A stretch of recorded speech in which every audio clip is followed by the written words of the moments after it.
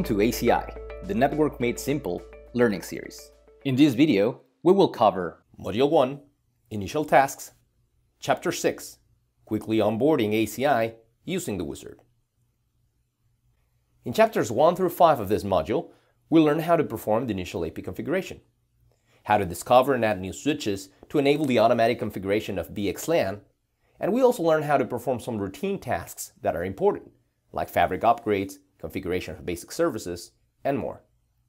In this episode, we will do all that but even faster by using the ACI First Time Setup Wizard, which is available in ACI versions 4.2, 3, and later.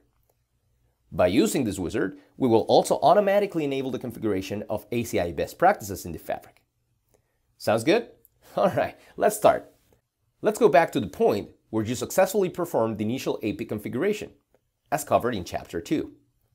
Therefore, you can now open your browser pointing out to the IP address you configured for that APIC, and notice that on the welcome pop-up, we now have a button that says Begin First Time Setup on the lower side of your screen. Let's click on it, and as you can see, we have all the things we covered in the previous chapters, but now easily accessible and configurable from a single wizard. Let's click on the Fabric Membership section first, where you can see the APIC already discovered the first leaf. Just as we learned before, click on Register, add a node ID, a name to it, and then select the appropriate node type for this switch, in this case a leaf.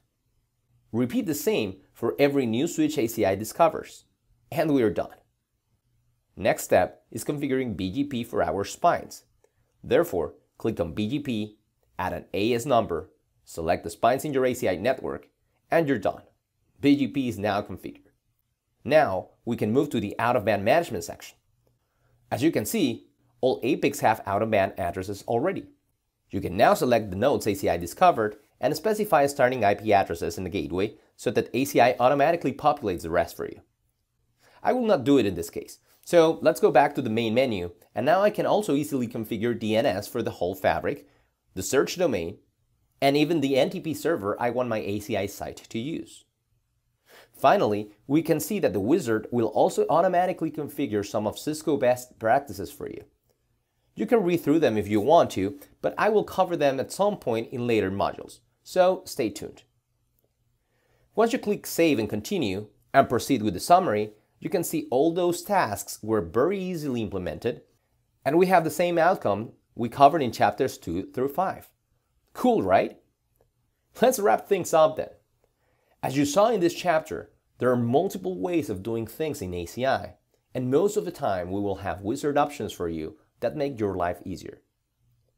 The ACI First Time Setup Wizard is available on ACI versions 4.2.3 and later, and it is a great tool if you're installing ACI for the first time. However, if you have a previous ACI version, or if you're adding resources to an existing environment, I would personally recommend you understand the way things work in ACI to have full control and knowledge over any change you may do. So you may want to take a step-by-step -step approach. ACI provides you with a better, simpler, and secure network, any size, anywhere, and on any cloud. If you want to learn more about other common tasks and how ACI radically simplifies network provisioning and operations, please watch the rest of the videos in this series. Thanks for watching.